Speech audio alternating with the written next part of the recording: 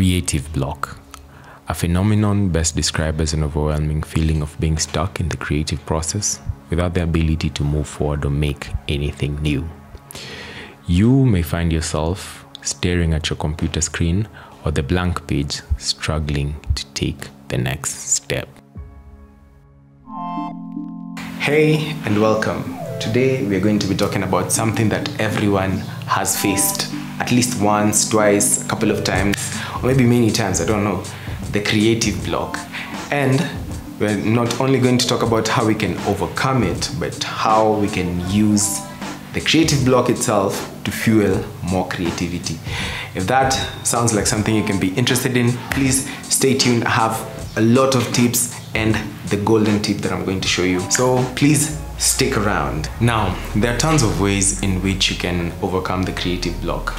First, you can just sit and let it pass. Because sometimes creativity cannot be forced you know? Creativity is just creativity. It cannot be forced. Or you can take a walk you can take a break. You can change the environment in which you work maybe from this desk to a different desk or from here you go and work in a restaurant or a park something. You can do all of that but sometimes those methods just do not work but here's a crazy idea why don't you create a video or create art on the creative block itself? I mean, you already have inspiration for that. That's all you can think about at that point in time. Why don't you create on that creative block? Draw something that represents that creative block. Write something that represents that creative block create a video that represents that creative block. Take a picture of somebody in a creative block. Use yourself as that subject. Write a song about creative blocks. Today I don't feel like doing anything. Dun, dun, dun, I don't know. Maybe it was created during a creative block. All I'm saying is use that block as inspiration. I'm a genius. I know, I know, I know. Thank you. Thank you. What? Bro, what are you talking about? But yeah, it's a very interesting thing that you can do. Like this video that you're watching right now was created because I am currently in a creative block. I feel like it has been going on for a very long time and I feel like it's about it's just it just has to stop. So this is why I'm creating a video about creative blocks. Have you ever tried creating something with the block as inspiration? Tell me in the comment section.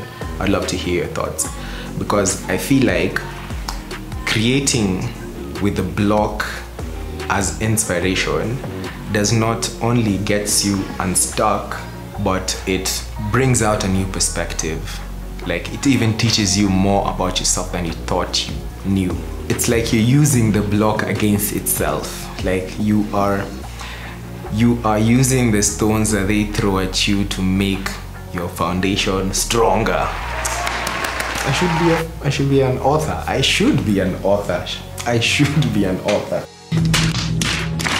You are using the lemons that the universe has thrown at you make lemonade and you know yeah lemonades are nice mm. I know creative blocks can be something very difficult to deal with and sometimes they can be very overwhelming. So next time you're stuck, don't just sit there. Use the block against itself. Use it as inspiration. Use it as the basis in which you create and come back to creating. Because Creative blocks can feel like an invincible wall that does not allow you to get to your normal self, which is your creative self. What? So if you got up to here, that means you like this video. Please don't argue with me. You like it, you like it. So please give it a thumbs up and a subscription to the channel would be dope. Um, I've been having a creative block and um, you know i just felt like it's time to create something let's just create something and what a way to create than using the block against itself. I'm so proud of myself and I'm so proud of you for reaching out to here. Use some of these uh, methods that I've just told you in this video and tell me how it goes. Until next time, peace.